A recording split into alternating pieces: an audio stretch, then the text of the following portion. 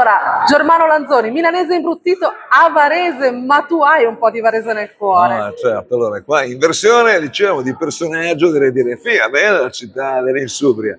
In realtà invece qua non soltanto sono legato a livello sentimentale a mia moglie di Varese, ma in realtà credo che ho, ho attraversato uno dei periodi più bello formativo quando a, andavo a, all'Arlecchino è stato per me quei cinque anni a livello della mia professione di comico una vera accademia con tutti i comici che ho visto su quel palco. Quindi ogni volta è tornare in una città che amo.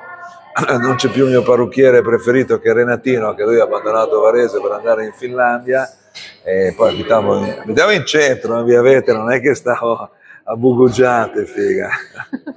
Senti, prima di tornare al cinema, hai parlato del, del, cabaret, io ti faccio fare un passo dal teatro, perché noi ti conosciamo con le tue doppie facce, il milanese, ma anche quel milanese che il martedì porta il cabaret e il teatro a canzone, quindi Germano e tutte e due cosa prevale sulla tua, vita, sulla tua carriera? No, allora, istintivamente ti direi sono più del, del, del cabaret, sono nato in cui eh, fare il cabaret era una professione bellissima, lo è tuttora, sono legato alla scuola milanese, quindi fare teatro canzone, tra l'altro è una città varese che ha dato i natali a una serie di artisti da tutto il territorio, da Iacchetti al grande Renato Pozzetto, poi insomma i fichi d'India, quindi io amo tantissimo quel tipo di eh, migrazione tra la supercazzola e il pubblico.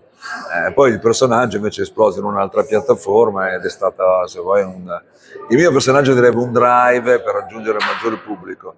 Rimango sempre molto... Allora, io mi sento a casa quando sono, sono su un palco dal vivo Bene, invece torniamo al cinema. Oggi con Ricomincio d'attacco, il tuo grande tormentone, ma mi sono chiesta quanto c'è di scritto in questo film e quanto c'è di improvvisato? No, allora, c'è molto più di scritto di quello che si pensa, cioè se è vero che magari anche nei video siamo molto liberi di improvvisare, però il video diciamo è su una struttura in cui la battuta chiude la scena spesso e volentieri, invece il film è su una storia alla sceneggiatura qui sono stati molto attenti, ci hanno dato libertà di gioco, sono, ma l'obiettivo è riuscire a far scorrere la storia.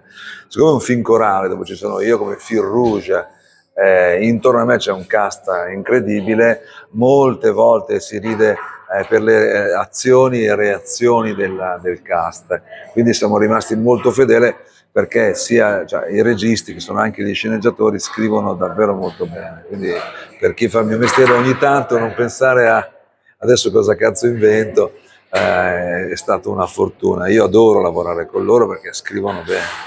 Senti, l'ultima battuta, tu lo sai che nell'altra sala c'è il film sull'Inter?